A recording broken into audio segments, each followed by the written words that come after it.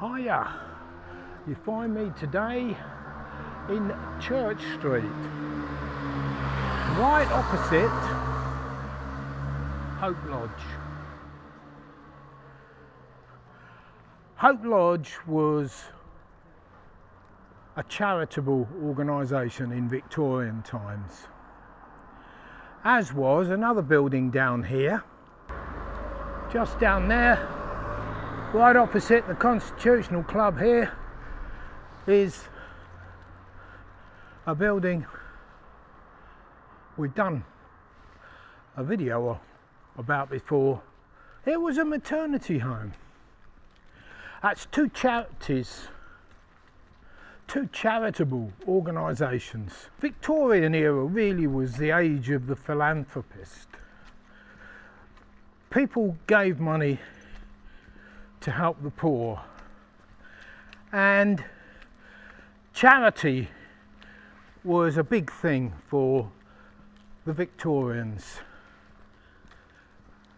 Coggeshall has a connection with charitable organisations and we're just going to go down to a place I want to show you quickly. We've done a video on this man. The name Henry Doubleday, does that ring any bells?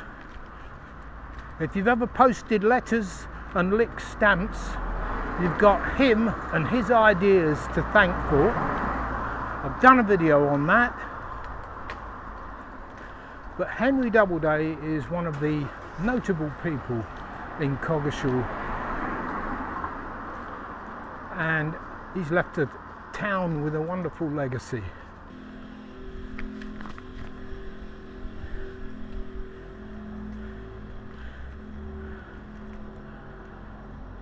This is what's left of an area that was occupied by the Dragon Inn and Doubleday's groceries.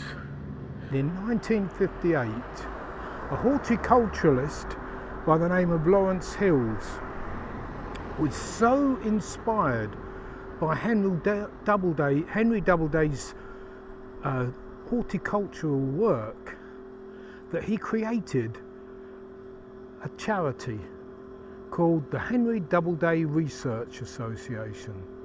In the 1960s, that charity really grew, and it was our own king, who was then the Prince of Wales, in 1988, he was the patron of the Henry Doubleday Research Association.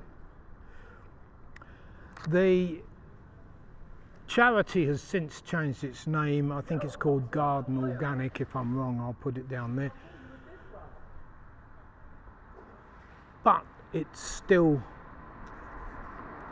as far as I know, in 2023, still active.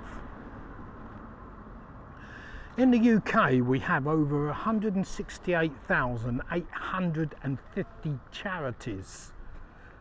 This is the legacy that's come up from uh, the Victorian times of charitable giving.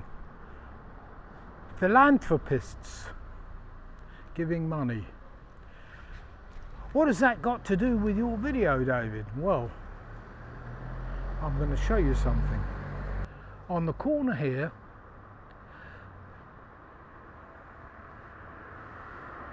this is this is where the Doubleday grocery store was where Henry done a load of his work. And right here we have a charity.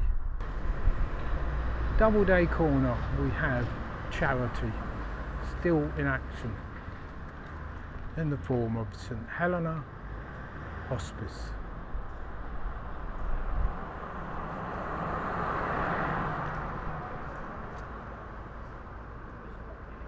Helping local people face incurable illness and bereavement.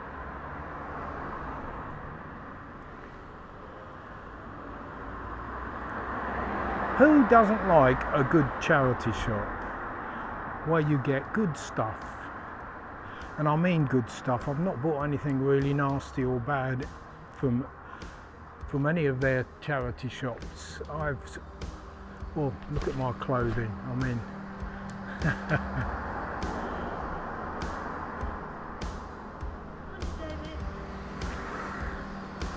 we'll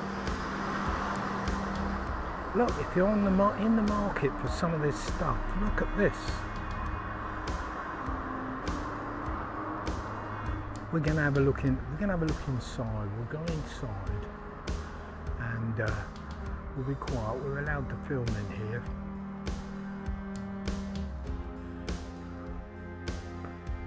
This.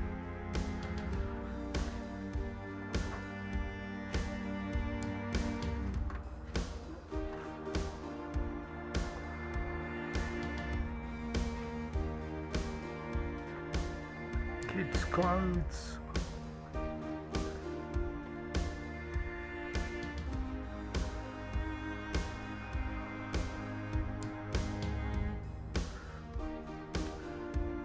Peaky Blinders style caps.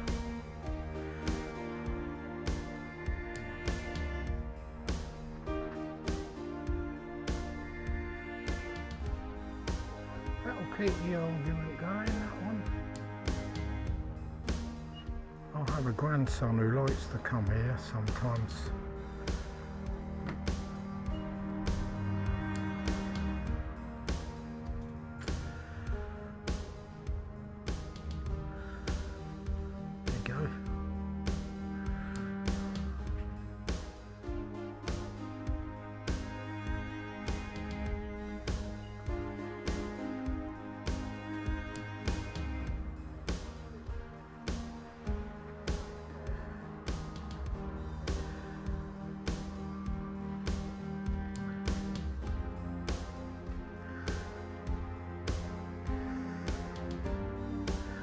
This is their branded Christmas cards.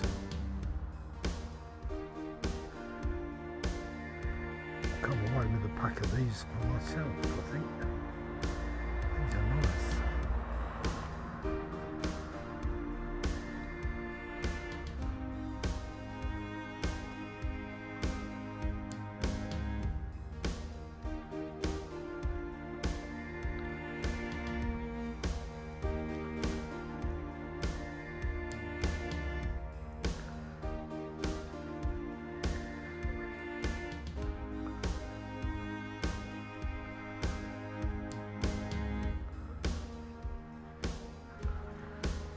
Here we go, look at this.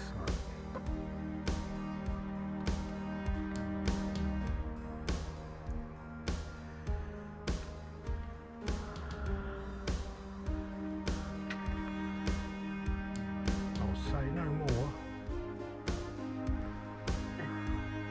Balanced diet as a cake in each hand. That's right, and that when you walk in the tightrope of life, you need the balance. Currently in England we've got um, a cost of living crisis and places like this are a godsend when you need stuff. Like I say, there's no shame in charity shops. Charity shops are a way of getting a bargain and also if you've got some stuff that you you're not using anymore you don't really want to put them up on eBay. You'd rather they go somewhere where they can make a make a difference. And this makes a difference in the town. I've got no shame shopping in a charity shop